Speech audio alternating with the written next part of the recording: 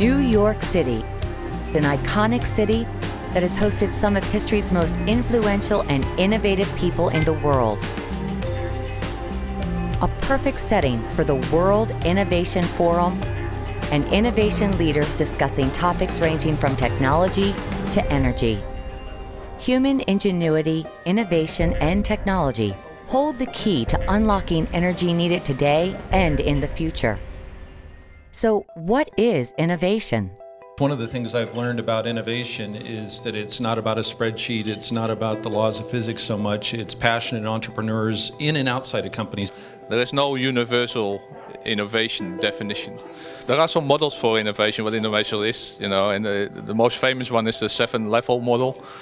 And you know, at the, at the lowest level, you're talking about doing things more efficient and doing things more effective. And at the other end of the scale, you talk around doing things which never have been done or doing things which nobody thinks can be done in the first place.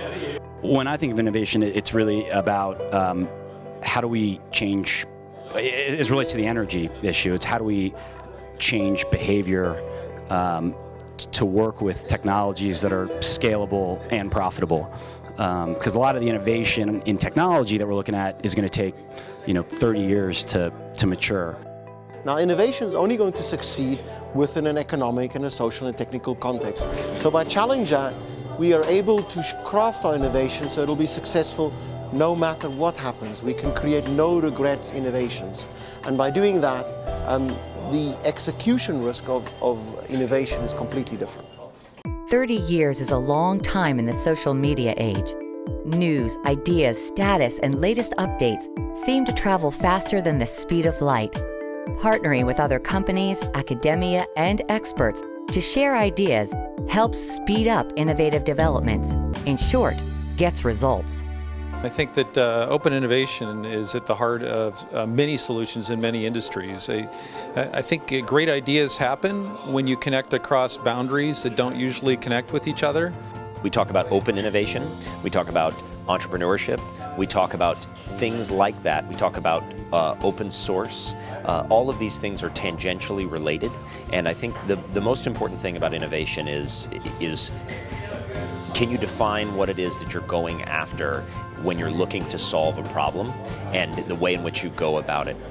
Bright ideas from our people and partners have sparked some groundbreaking technologies.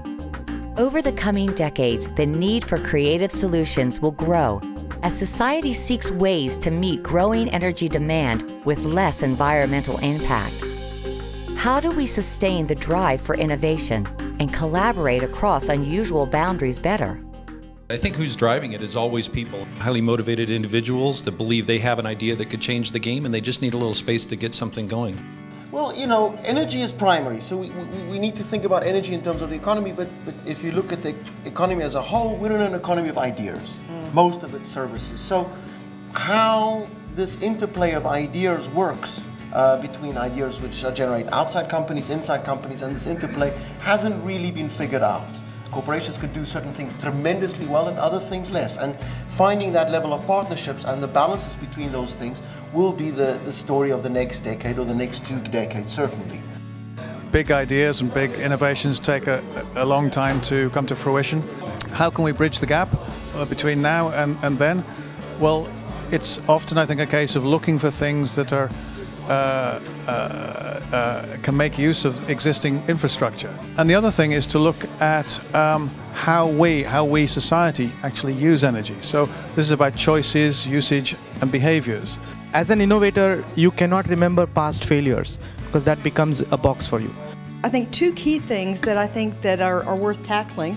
One is um, the cost of uh, bringing the cost of transactions down, and by transaction we mean making any kind of connection. It could be a plane trip, it could be a phone call, it can be a click on your mouse, but bringing down that cost of connecting is the, one of the big things. The other one is now that we have so many opportunities to connect with so many people, it's how do you connect with the right people? Because open innovation and community driven innovation is not good for everyone. And we started talking about that here. And basically, here's a way to think about it. If you got your users on the bottom and you've got your makers of your product on the top, and you have few over here and many at the far. But when you break it down to the algorithm that actually works, you could have a lot of people that could solve on that algorithm and a lot of people that could solve, that could use the algorithm. We no longer live in a community-based society. We live in a global society that's connected through technology. It's all about the experience. It's all about networking. It's all about talking to each other and extracting ideas and implementing strategies to make them happen. Meeting future increases in energy demand while managing the impact of our energy use is a critical component in looking at how innovation can help us address our energy future overall. We have to make our existing resources uh, cleaner, more sustainable, less impactful, use them more efficiently. The, the world in which we, we, we're used to is the world in which energy is equated with oil. And this is not the world that we're going into the future. Energy is going to mean many, many things. It's going to be wind, it's going to be solar, it's going to be biofuels, different types of biofuels, geothermal, and oil and gas.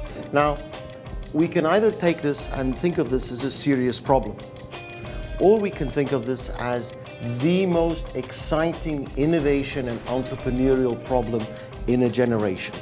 If you look around and you say everything is going to change, there's tremendous opportunity, both at the level of Shell, but, but, but energy isn't just Shell, it's our energy. I think that the most important thing for us is to look at energy from a systemic perspective, and that is change the system makes a better use of energy. And cars use 70% of our U.S. oil end use, whether it's imported or domestic, 70%.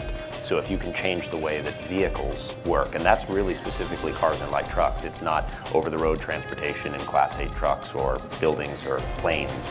And so there we have a massive effect on energy demand. The basic answer is we need to change the way we do things and practice reverse innovation, starting from where energy efficiency is important. Big organizations do have a problem.